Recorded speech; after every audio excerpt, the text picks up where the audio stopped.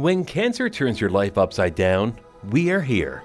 Daffodil Place is where guests can find the comfort of a home for the night.